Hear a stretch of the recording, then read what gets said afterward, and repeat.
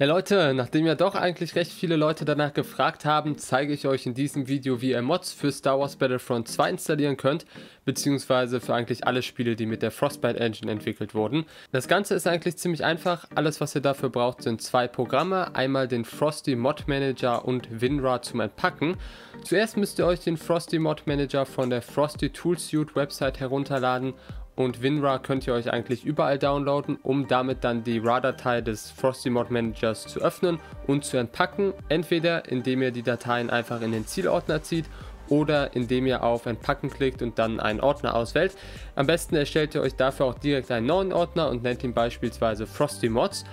Bevor ihr nun den Frosty Mod Manager öffnet, solltet ihr vorher noch einstellen, dass das Programm standardmäßig als Administrator gestartet wird. Dazu müsst ihr einfach auf den Frosty Manager rechtsklicken, auf Einstellungen gehen, dann auf den Reiter Kompatibilität und unten ein Häkchen bei Programm als Administrator ausführen und vergesst dann nicht auch noch auf Übernehmen und dann OK zu klicken.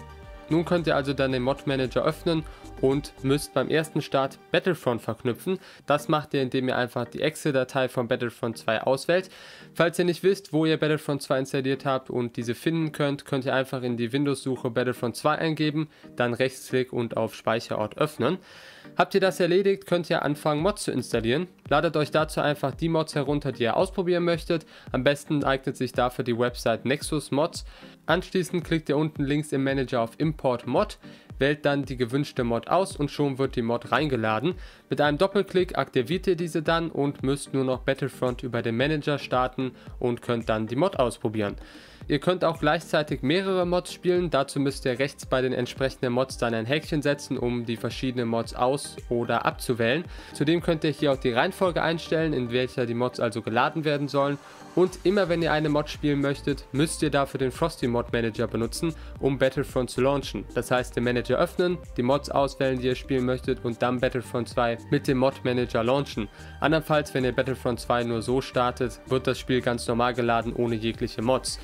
Und dann zum Schluss noch vielleicht ein paar generelle Infos. Erstens, Mods könnt ihr nur auf dem Computer spielen, das heißt Konsolen sind hier außen vor.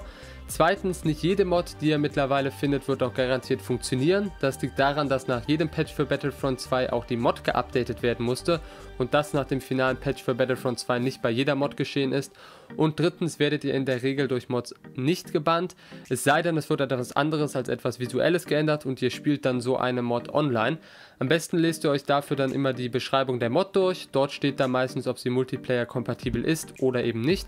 Und falls nicht, solltet ihr die Mod auf gar keinen Fall online benutzen, sondern nur in Arcade oder Instant Action, da ihr sonst eben einen Bann riskiert.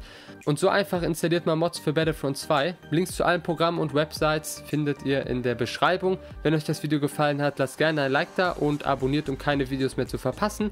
Nächste Woche stelle ich euch nämlich die besten Mods für Star Wars Battlefront 2 vor. Checkt gerne auch die Videobeschreibung Videobeschreibung für die anderen Links zu meinen sozialen Medien und den Discord-Server ab. Vielen Dank fürs Zuschauen und bis zum nächsten Mal.